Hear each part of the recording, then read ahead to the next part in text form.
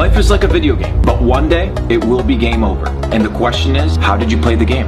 Did you win or did you lose?